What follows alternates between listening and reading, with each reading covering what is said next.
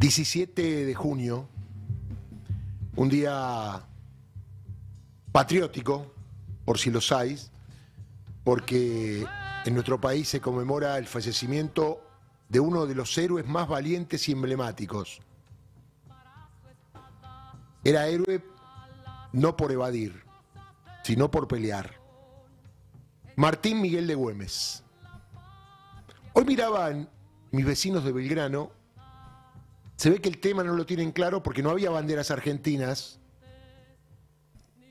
en sus ventanas o en sus balcones. Figura crucial de la gesta de la independencia y de defensor incansable de la patria. Qué lindo suena, patria, patria.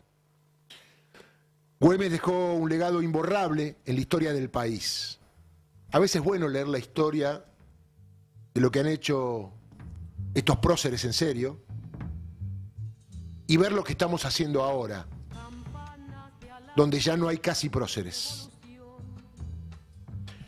Desde joven se destacó por su carácter decidido y su habilidad estratégica, características que lo llevaron a convertirse en uno de los líderes más admirados durante la Guerra de la Independencia.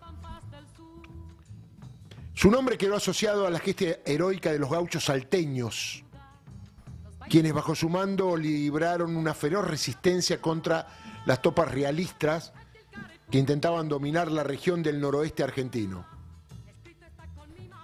La creación de la famosa Guerra Gaucha no solo aseguró la libertad de Salta, un, saludo a todos los salteños amigos, sino que también constituyó un bastión crucial para el avance de la independencia en el norte de nuestro país. Pensar que hace unos días quienes son políticos y deben defender a la patria, se encontraron en el Congreso de la Nación después de idas y vueltas, donde hubo intercambio de valores, de cargos, para cambiar una opinión y dejar a la patria al borde de entregar todo lo que supimos conseguir. Qué cosa que coincida Güemes, con algún nombre de los que tuvieron allí. No tienen nada que ver y uno supone que con la democracia, con entender la patria, la bandera, lo que somos, en este momento, en un mundo globalizado,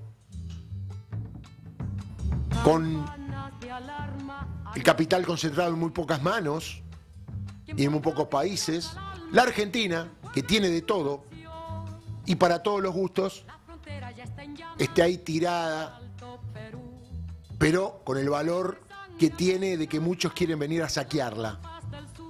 Y es un gobierno nacional elegido por el pueblo el que ha puesto en el Congreso senadores y diputados que aceptan para darle la herramienta a un presidente que dijo que viene a destruir el Estado. El Estado que se consiguió con la sangre, por ejemplo, de los Güemes, de los San Martín, de los veganos. ¿Qué dicotomía hay entre la realidad y la historia? No hay sargento Cabral acá, ¿no? Que salve a nadie. Y esto viene a ver que tenemos que revisar lo que somos y hacia dónde vamos. Repito, no veo banderas argentinas. ¿Será que algunos crean o quieran que no tengamos más la bandera argentina? y tengamos otra de otro color o no tengamos bandera, que es peor? Todo tiene que ver con todo, no es que lo que pasó antes está alejado de lo que pasa ahora. Es una lucha permanente. ¿Vio el tema de la grieta? Decía José Ubeira, nuestro amigo, que él tiene una pala en el baúl del auto para agrandar más la grieta, porque la Argentina surgió como una grieta. Y no se puede unir lo que no está destinado a unirse, porque si yo quiero mi patria, quiero mi Argentina, no me puedo unir con aquel que no quiere la patria y le gusta más la bandera, por ejemplo, de los Estados Unidos. O le gusta más que las Malvinas sean inglesas. Es imposible. No hay forma. Tanto es así que el monumento a Güemes, que queda ahí en Pampa y Alcorta, tardó mucho tiempo en hacerse. Se ve que quienes manejan la política en estos tiempos y de hace 20 años para acá, che, hay que hacer algo por Güemes, ¿no? Es importante en Salta y a nivel nacional.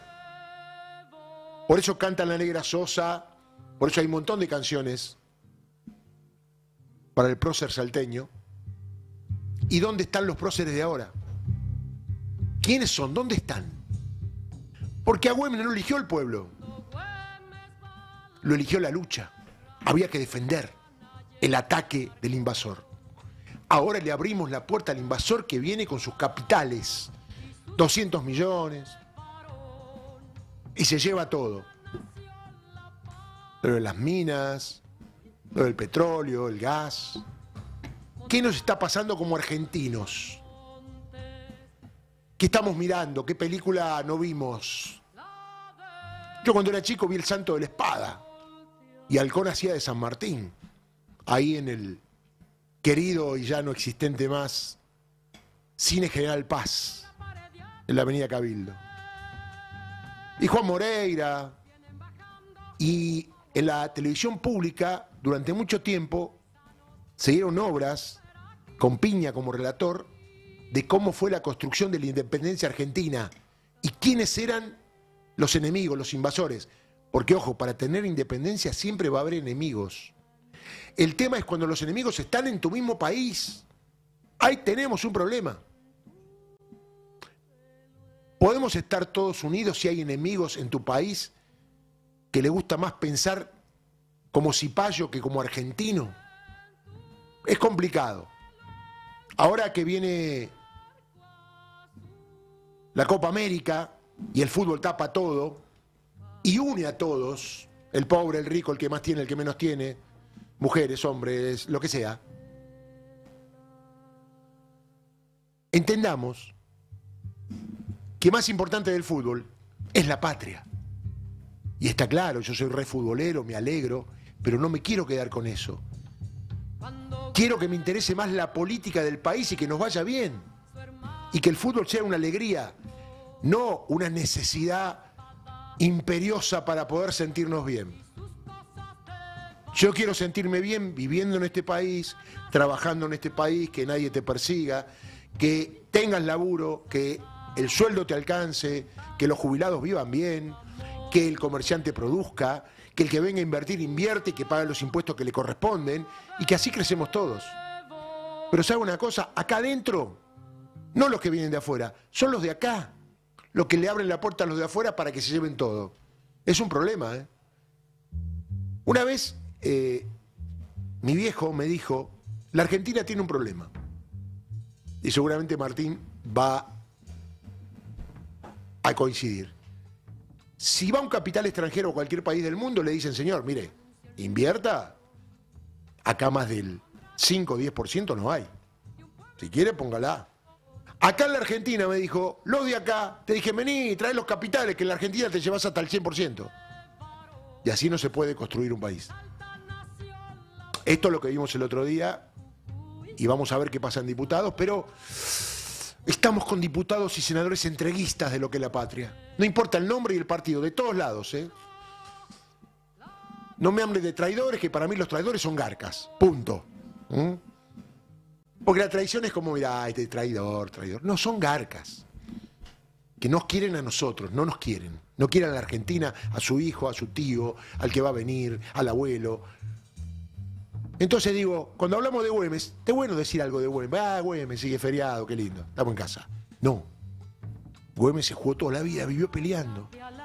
Digo, los políticos en Argentina viven peleando para que vivamos mejor. ¿O están conformes con cobrar un sueldito? ¿Mm?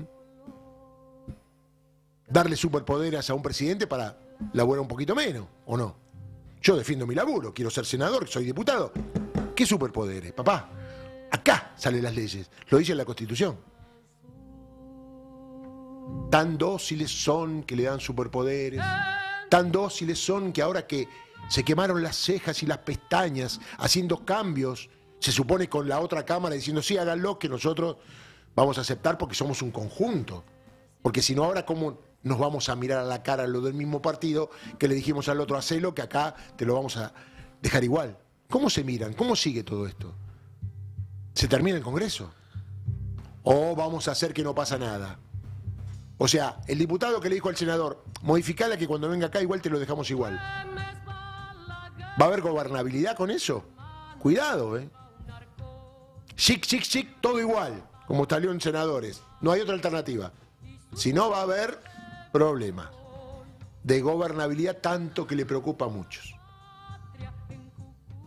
Y seguramente, si Güemes estuviese con sus compañeros, ¿sabe qué haría?